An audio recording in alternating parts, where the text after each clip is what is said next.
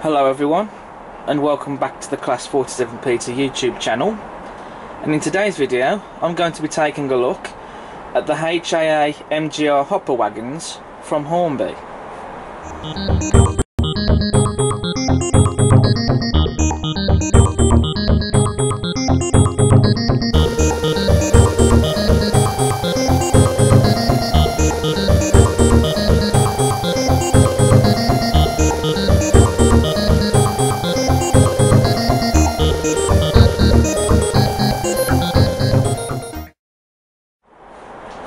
Now for years I've been wanting a rake of HAA wagons for the layout. As I'm sure for those of you watching my videos you'll all know, I have a couple of class 56s, I've got a class 60 and a class 58.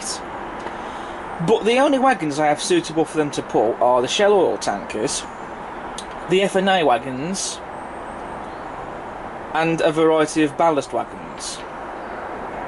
As well as, of course, the flangeway snowplows and the, also the Network Rail track cleaning wagon. But I did need some more rolling stock to go behind those locomotives, to be honest. And with that in mind, as well as the fact that I've wanted a rake of HAs for a very long time, I decided to bite the bullet and treat myself. And so here in front of you, I have 15 of these HA wagons, which is going to be a rake long enough for me. Now, I'm not going to be taking a look at all these wagons because they're all the same wagon, so it's pointless really looking at them all because they're the same wagon, all the detail is going to be the same. So I'll get one of these wagons unboxed, and then we'll get it down on the layout and we'll have a look.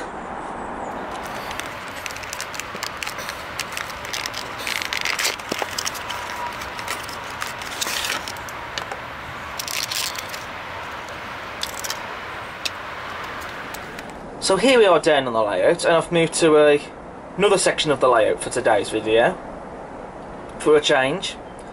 So one of the wagons has been unboxed as you can see.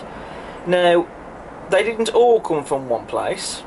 Ten of the wagons came from Collett models and the remaining five came from Sawyer models.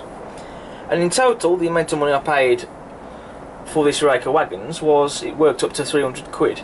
I know some people think that that's a lot of money to spend on wagons, but at the end of the day, if you want super detail and you want rakes of wagons such as the HAAs and some of these other modern era wagons, then you are going to have to spend the money. That's always going to be the way because it is an expensive hobby. It's never been cheap.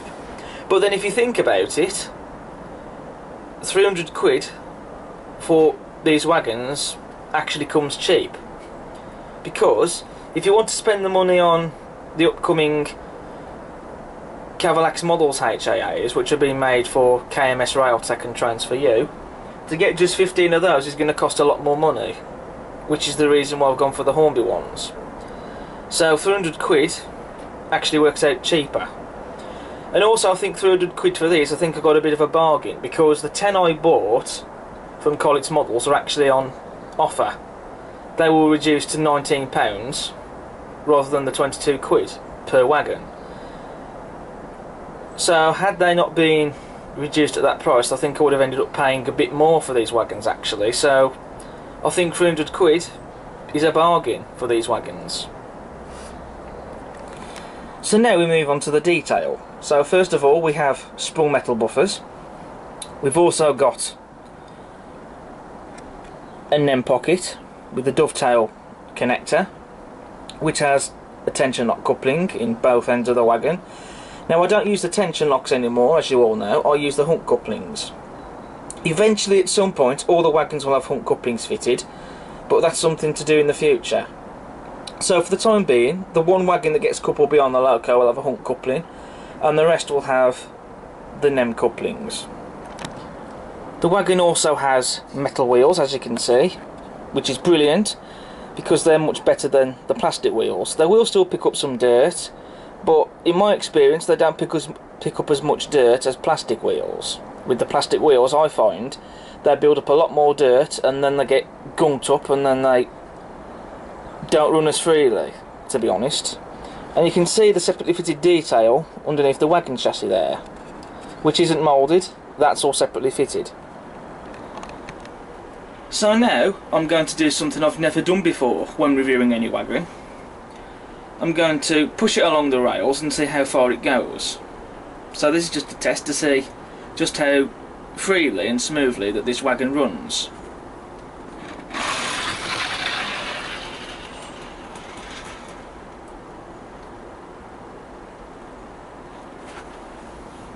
And the wagon has gone as far as the level crossing. So it's passed that test with flying colours. So that's brilliant. On the wagon body, we have got some nice rivet detail, which looks superb. You've also got the warning signs, and the printing of those is very nicely done, and they are legible, you can read them, though you might need a magnifying glass to do so. You've also got HAA there, crisply applied on the sides. And you've also got the data panel there as well. Again, crisply applied on the body of the wagon. On the wagon chassis, we also have a builder's plate, which is printed onto the chassis, but it does look really nice, and you can read it as well. Moving on to the wagon cradle, which is this part of the wagon here. Now the livery is supposed to be rail freight red. It is painted a red colour, however the shade of the red is incorrect. It should be a more, I guess you could say more brighter shade of red. So the shade of red is wrong, so if you're bothered by that, you could repaint the cradle if you wish, though not something you should have to do. But you know, I still think it's a nice shade of red. And also, we do have some more printing on the cradle as well, which again is fantastic. For the detail on the wagon chassis, we have the axle boxes, which are painted red. You've also got the springs as well. You've also got the brake as well. And you've got all this other detail there under the chassis which is all separately fitted again that is not moulded as you can see. And I think that looks superb. And I do like that some of these detail parts has also been painted. Now all the HAAs that I have have the canopy attached on them. When we do do the variants without the canopies on them as well as the ones that do have the canopies. However, the canopies on these are removable, as I shall demonstrate.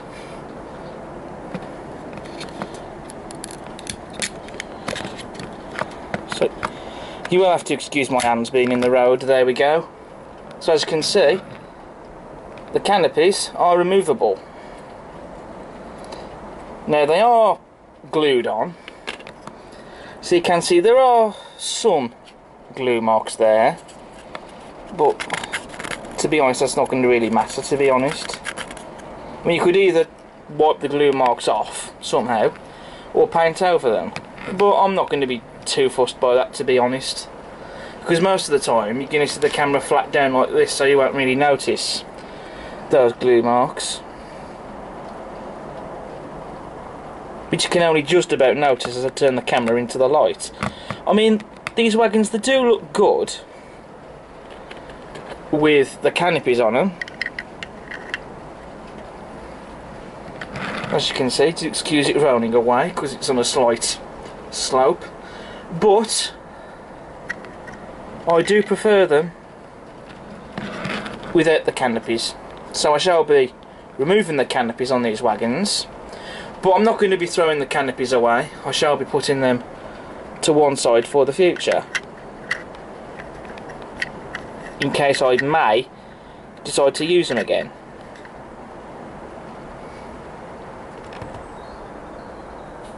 On this end of the wagon we have the generator and that detail has been separately applied, it's not moulded on. And you've even got the pipework detail as well coming out of that and that little bit of detail looks stunning. And then on the other end of the wagon we have the auto unloading gear and again that detail is separately fitted it's not moulded on and that looks stunning.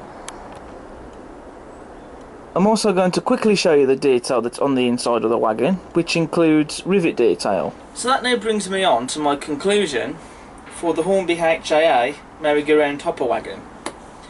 So my conclusion is, I think that this is a great model. I mean, if we take away to one side that the cradle of the wagon in this livery is painted in the wrong shade of red, the detail on this model is stunning and to finally be able to have a rake of these on the layout that's made me happy because I had fond memories of these wagons being hauled by class 60s, 58s, 56s and later on 66s. They were also pulled by class 20s, 47s and 37s as well. So I've now got some more stock to pull for those locomotives so I'm happy there. And I know that some people are thinking, well, 15 wagons, it's only half a rake. But at the end of the day, it's still a rake. I mean, I don't necessarily have to have the full prototypical rake of these wagons running around on the layout.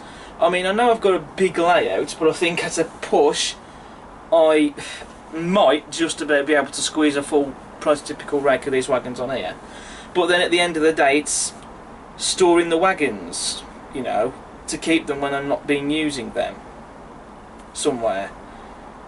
And it's also going to be more expensive. It's going to be more money, which that money I'd rather go on other things. So I think 15 wagons, it's still going to look awesome behind a Class 56 or whatever.